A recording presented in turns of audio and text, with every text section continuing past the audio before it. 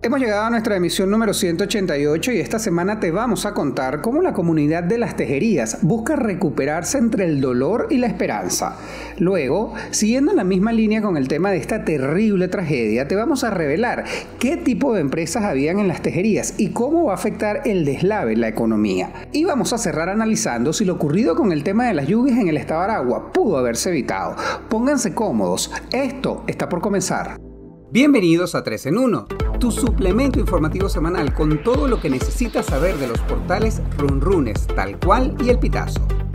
A partir de este momento queremos invitarte a que disfrutes en los próximos minutos de los reportajes más destacados en estos tres medios digitales. Siéntate, relájate y tómate el 3 en 1 de esta semana. Desde este lado les saludo una vez más Luis David Miquilena, espero estén muy bien. Un placer darles la bienvenida a nuestra emisión número 188 de este condensado de información que recoge lo mejor de los portales El Pitazo, runrun.es y tal cual. Han transcurrido hasta la fecha 136 semanas o el equivalente a 948 días desde que fue decretado el estado de alarma por la llegada del coronavirus a Venezuela. Como todas las semanas invitamos a nuestra audiencia que mantengan las medidas de bioseguridad que garanticen su seguridad y la de sus familias. Comenzamos esta semana visitando el portal El Pitazo y aquí tenemos un reportaje titulado Las Tejerías, un pueblo que busca levantarse entre el dolor y la esperanza. El sábado 8 de octubre significó un antes y un después para la población aragüeña.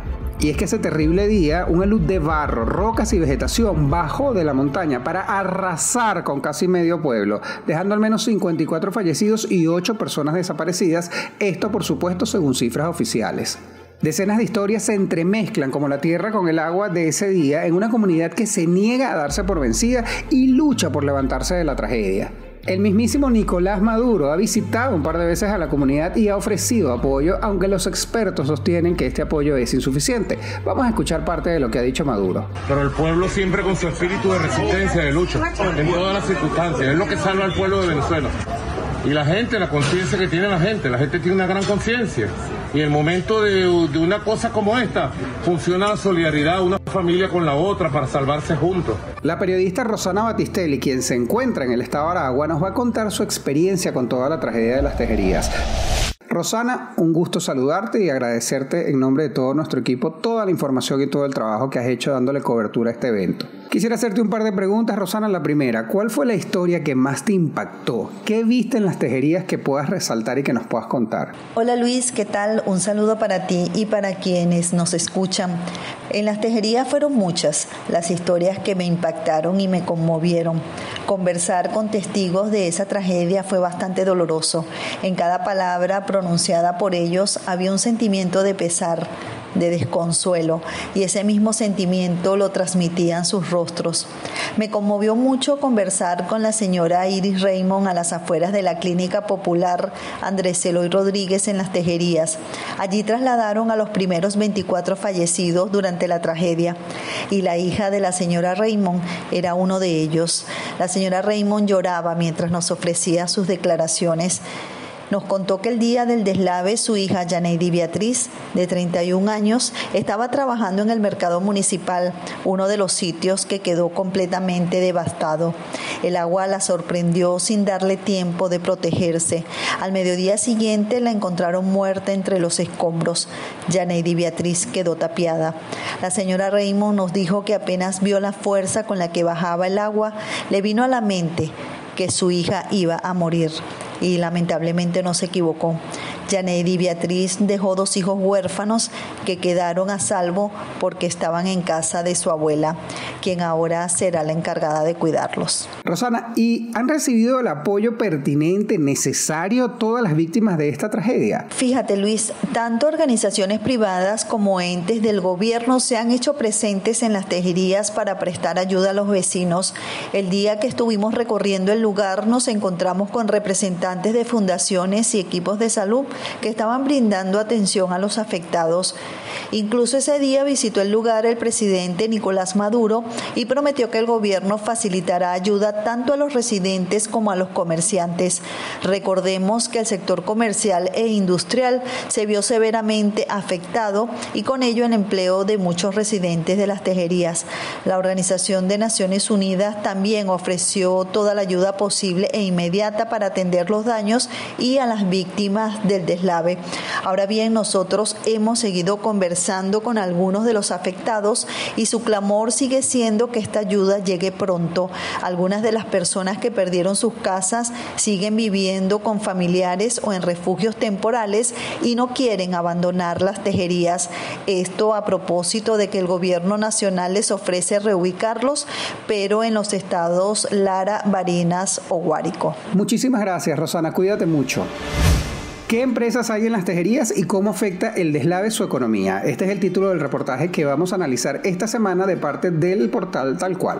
Y es que la censura que mantiene el gobierno de Maduro sobre los medios de comunicación independientes en Venezuela no ha permitido dilucidar con certeza cuántas empresas funcionan en la localidad aragüeña, pese a que la gobernadora de la entidad, Karina Carpio, sostuvo que alrededor de 15 empresas fueron afectadas por el deslave el pasado 8 de octubre. La Confederación Venezolana de Industriales confirmó que hasta el momento ha sido imposible establecer un registro y que en la actualidad están abocados a recolectar insumos para los afectados, que es la prioridad en este momento. Industrias textiles, procesadoras de alimentos y ensambladoras de vehículos son algunas de las empresas que funcionaban en las tejerías. El diputado de la Asamblea Nacional Chavista, Luis Eduardo Martínez, habló sobre un plan de rescate económico de las tejerías. Prestemos atención. El próximo miércoles en las propias las tejerías va a reunirse la comisión especial con los em, representantes del alto gobierno que están asignados a la zona para entonces entrar en la tercera etapa, que sería precisamente la que señaló ayer el ministro Tarek Leizami la financiación de empresas y comercios que quedaron absolutamente destruidos. La zona industrial de la tejería, por ejemplo, eso eh, quedó muy afectada. Vamos a hacerle un par de preguntas a Brian Contreras, autor del reportaje, para que nos aclare un par de dudas. Brian, espero estés muy bien, un gusto saludarte. ¿Nos puedes hablar de cuáles empresas tienes certeza que funcionaban en las tejerías y un aproximado de los empleados, el número de los empleados afectados? Hola Luis, un saludo para ti y para toda la audiencia de 3 en 1. Es un placer para mí siempre participar en el programa, aunque no sea tan placentero hablar de, algo como la tragedia de, de las tejerías y sobre todo ese impacto que va a tener a nivel económico, no solo en Aragua, sino quizás incluso en todo el país. Lo primero que tenemos que tener en cuenta es que no existe realmente data oficial sobre la cantidad de empresas que están operando en tejerías y muchísimo menos sobre las que fueron afectadas por el deslave. Entonces, es gran parte la crítica que se hace en el trabajo publicado en tal cual que el gobierno debería estar levantando esta información, debería estar trabajando con estos datos, deberían ser públicos y lamentablemente no se está haciendo.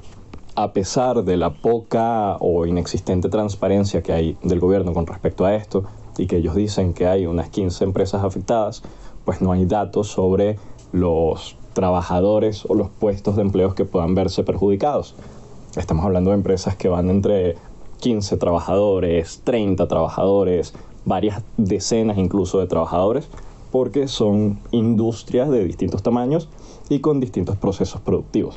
¿Y qué se ha dicho sobre la eventual recuperación de estas empresas?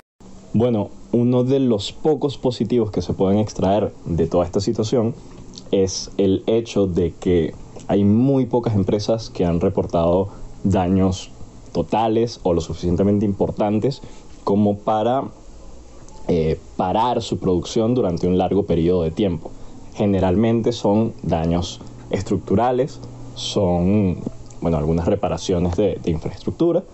Eh, sin embargo, hay otros casos que sí recibieron un impacto importante como eh, Matadero y el mercadito de, de las tejerías, que fueron un montón de locales comerciales que quedaron básicamente en la nada. Ya en la parte más industrial, estas empresas que están dedicadas a, por ejemplo, la, manufactura, la producción propiamente dicha, tenemos a través de videos e imágenes pruebas de que algunas estructuras han sido bastante dañadas, como ocurrió con la planta de vehículos Cherry. Y de hecho ya el gobierno ha dado un asomo de que va a trabajar para recuperar las empresas. Por suerte, dentro de la información preliminar que están mostrando los gremios, como por ejemplo con industria, los daños en líneas generales no son tan graves. Hay varias empresas que tienen pues barro, alguna sociedad, algunas estructuras concretas dañadas que hay que recuperar, pero la situación parece no ser tan grave como se temía en un inicio. Encantado de saludarte, Brian. Y esta semana le toca el turno de cierre al portal runrun.es, mejor conocido como Runrunes, y aquí tenemos un RR Plus que se titula Tragedias causadas por las lluvias pudieron evitarse. Desde la tragedia del Estado Vargas ocurrida en el año 1999 hasta la de las tejerías, que acaba de ocurrir el pasado 8 de octubre, en Venezuela han ocurrido al menos siete eventos donde las lluvias, la mala planificación urbana y la falta de medidas preventivas han causado muertes y cuantiosas pérdidas materiales. Las declaraciones de Maduro sobre las inundaciones 10 días antes de la tragedia de las tejerías hacen ver que las autoridades manejan información en materia de prevención que no ponen en práctica y que tampoco comparten con la población. María Josefa Maya nos va a hablar un poco más sobre este tema.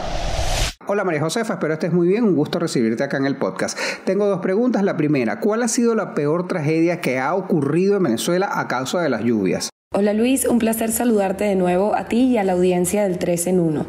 Los eventos que menciono en el trabajo son siete. El deslave en el Limón en Aragua en 1987, el deslave de Vargas en 1999, el desborde del río Orinoco durante todo 2018, el desborde del río Limón en 2020, el deslave en Tobar Mérida en 2021, las inundaciones en Baralt Zulia en 2022 y el deslave de Tejerías que ocurrió hace solo un par de días. Me gustaría aclarar que todos los eventos han ocasionado grandes pérdidas para los habitantes de cada zona, desde pérdida de negocios hasta sus hogares e incluso familiares y seres queridos. Si tuviera que seleccionar cuál ha sido el peor, estaría entre la tragedia del Limón en 1987 y la tragedia de Vargas en 1999. Esto sería por una sola razón. Ambos incidentes dejaron un índice alto de fallecidos. En el caso del incidente en el Limón, se estima que al menos 100 personas perdieron la vida a causa del deslave. En cuanto a la vaguada en el estado La Guaira, hasta hoy en día, 23 años después, no se tienen cifras oficiales de fallecidos. Sin embargo, una investigación de Rogelio Altés, antropólogo y profesor, determinó que el número de muertes de la tragedia no supera los 700 fallecidos. ¿Y por qué ocurren este tipo de eventos, María Josefa? De acuerdo a expertos consultados por Runrunes, este tipo de eventos puede ocurrir por varias razones. Algunas de ellas son que no hay estaciones hidrometeorológicas para monitorear, ni oficinas de hidrometeorología, ni estudio de cuencas. Además de ello, no se le puede atribuir el factor climático exclusivamente a un evento aislado como el alud ocurrido en las tejerías, por ejemplo. Tampoco hay prevención de riesgos. Un ejemplo de ello son las declaraciones de Nicolás Maduro sobre las inundaciones 10 días antes del deslave en las tejerías. Estas declaraciones son un indicativo de que las instituciones tienen información de los patrones de riesgos para prevenir, pero no comunican sus hallazgos a la población. Muchísimas gracias, encantado de saludarte y hasta una futura oportunidad. Estimada audiencia, nosotros con esto hemos llegado al final de nuestra emisión número 188 del 3 en 1 por esta semana. Como siempre, un gran placer haberlos acompañado y haber estado con ustedes con estas tres notas que han dado de qué hablar en estos medios durante toda la semana. Los invito a que se suscriban a las diferentes plataformas en donde nos pueden ubicar. Recuerden que estamos en Google Podcast, Apple Podcast, Spotify y también estamos en la plataforma de videos YouTube. Nuestra invitación, por supuesto, es a que mantengan las medidas de bioseguridad, mantengan el distanciamiento social y recuerden que la pandemia aún no ha terminado y que debemos cuidarnos. En la producción de este espacio estuvo Francisco Zambrano junto a Yanali Fermín y en la edición Abraham Moncada. Narró para ustedes Luis David Miquilena. Recuerden que nuestra cita ahora son los viernes y que nos vamos a escuchar la próxima semana. Tengan un excelente fin de semana, cuídense mucho, usen el tapaboca y gel antibacterial. Hasta luego.